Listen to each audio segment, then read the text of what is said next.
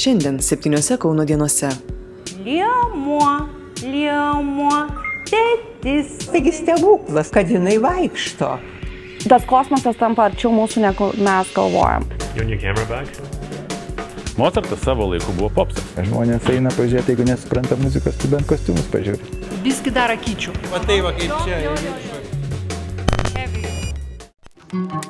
Globa ir kančia bei politiniai vėjai nepagydomai sergančiųjų palatose. Sovietmečių regės nei nepagydomai sergančių, nei kenčiančių nebuvo. Atgimimo pradžioje pirmoji viešai prakalbusi apie mirtį buvo Kanados lietuvė profesorė Irena Lukoševičianė, dirbusi Toronto vaikų vėžio klinikoje. Netrukus Lietuvos karito iniciatyva buvo įkurta pirmoji devinių vietų slaugos ligoninė Kaune. Įsteigiama ir Lietuvos paliatyviosios medicinos draugija, kuriai vadovavo žinomas kardiologas profesorius Arvidas Šeškevičius. Ir tik prieš 16 metų paliatyvioji pagalba oficialiai įteisinama. Kaune nepagydomai sergančius ir skausmus kenčiančius pacientus priema Kazio Griniaus slaugos ir palaikomojo gydimo ligoninė. Jeigu anksčiau slauga buvo, kad negalima žmogaus atiduoti į slaugos ligoninės, kad tai yra liktai to žmogaus atsisakymas priežiūros, bet iš tiesų tai taip nėra, nes šeima negali visą laiką rūpintis, kai reikia atskirų žinių, supratimo ir pagaliau reikia poilsio tai pačiai šeimai. Kaunietė Lena juvelyrė per klaidą išgėrusi chemikalų pateko ligoninėn ir nebepakilo iš lovos. Mama dukra namuose slaugė beveik 20 metų. Nuvežėm į klinikas. Buvo turbūt tris savaitės gerai. Ir pradėjo skrandžio kraujuoti, jai labai mažai, ten gal papolė ir žaizdelė matyti atsirado ir nusivežė daryti eskopiją ir uždusino. Čia tiesiog turėjo buvo keliose vietose, negalima buvo daryti. Parašyta, kad eskopiją negalima daryti. Bet darė ir, ir rūkės. Buvo ir klinikinė mirtis ir, ir, ir atgavo ją viską.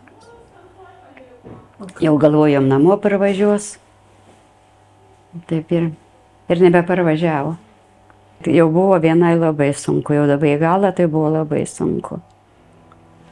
Rankos atsisako ir viskas jau visai nejaučiu rankų.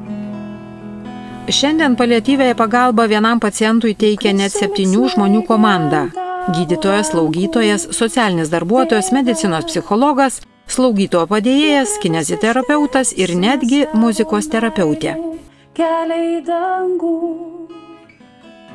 Nors menka, bet 2015 metais atsirado tokia menų terapijos programa, kada ruošiami būtent ir muzikos terapijos, ir šokio terapijos, ir dramos terapijos specialistai. Tai vad būtent, o, o muzikos terapija teikia tai būtent kvalifikuotas profesionalus muzikos terapeutas, baigęs studijas tam tikras. Ir būtent ta paslauga skirta pagerinti fizinės, psichosocialinės bei dvasinės paciento būtent funkcijas, tą gyvenimo kokybę, ypač padatyviam pacientui. Ir būtent tais garsais, ypač kai negali verbaliai bendrauti žmogus, tai instrumentų pagalba ar ne, ir, terapeuto dainavimo pagalba, jisai gali būtent tuos jausmus, emocijas kažkokiu būdu išreikšti. Tai ta muzika suteikia jam šviesesnių minčių toj kasdienybei, tokioj sunkioj kančioj nes amžinai te trokšta, ji būt su tavimi. Išmokė mane ligoninė vaikščiot, bet ir aš su lasdelė einu. O atvežė mane gulinčią į čia, ne, neįvinčią. Taip, tai ligoniniai didelis ačiū už, už tokį tiesiog kaip daug kas čia aplink sako, taigi stebuklas, kad jinai, kad jinai vaikšto. Dabar eisime pas mūsų ligonę Reginą, tenai kaip tik pasiamačiau yra psichologė mūsų kalbasi. Čia mūsų mergaičių darbai piešti ant šilko personalo.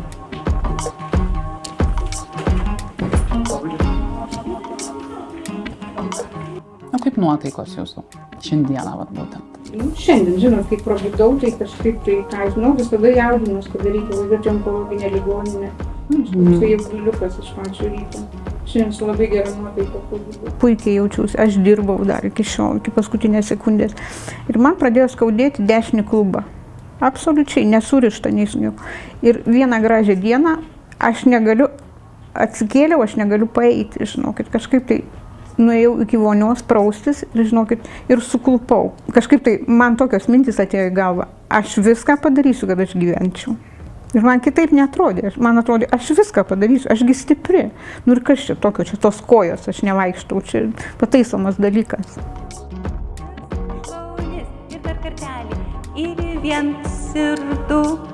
Prieš metus šiai medicinos ryčiai įsigaliojo nauja paslaugų teikimo tvarka. Sveikatos ministerijos pranešime teigiama, kad naujoji tvarka sureguliuos slaugytojų bei jų padėjėjų darbo krūvius, saugos nuo perdegimo, užtikrins geresnę paslaugų kokybę. Bet atsitiko taip, kad gerinant paslaugų kokybę teko atsisakyti dalies pacientų. Vien Griniaus ligoninėje pacientų sumažėjo nuo pusketvirto iki pustrečio šimto. Tai yra šimtui ligonių reikėjo pasakyti artimiesiam, kad jūs juos privalote pasiimti. Tiesiog e, ligoninė tai sprendžia labai skaudžiai, kadangi visiems artimiesiam tai yra didžiulė problema, nes iš esmės jie susiduria su dviem galimybėm tada. Arba į privačius slaugos namus, kurie yra brangus, arba kažkas iš artimųjų turi aukotis, mesti darbus ir slaugyti žmogų, jeigu pagaliau tam turi gebėjimų ir e, medicininių žinių. Tačiau sveikatos apsaugos ministerija nenumačiusi jokių lėšų. Europinės lėšos taip pat nėra numatomos šitam sektoriui labai jautriam.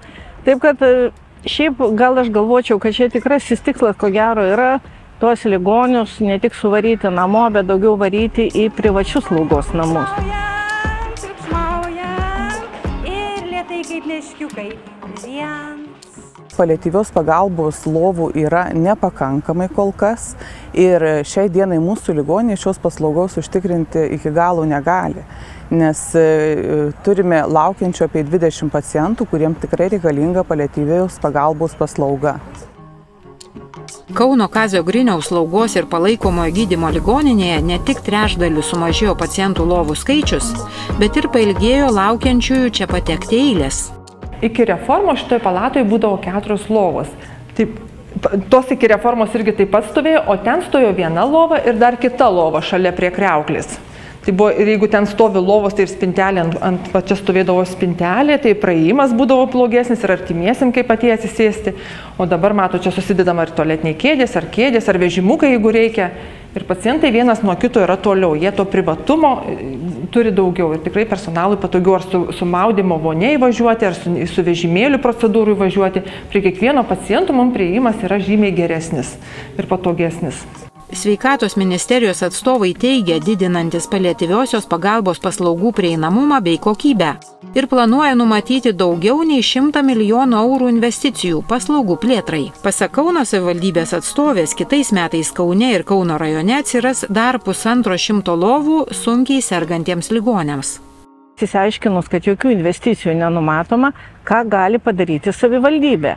Ir savivaldybė iš tikrųjų dabar jau planuoja 25 milijonus eurų investuoti iš savo lėšų.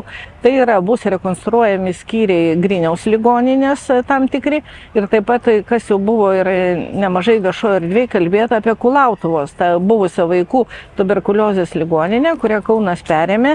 Čia buvo įvairių insinuacijų ir nuogastavimo, kad galbūt labai yra prestižinis klipas, tačiau ten taip pat bus te- steigiamas naujas skyrius. Gyvename kartą, bet kiekvieną dieną. Ir kol politikai ruošiasi rinkimams, savo širdies gerumu galite pasidalinti ir šiandien. Kauno Kazio Griniaus slaugos ir palaikomojo gydymo ligoninė kviečia visus, galinčius skirti savo laiko, tapti šios įstaigos savanoriais.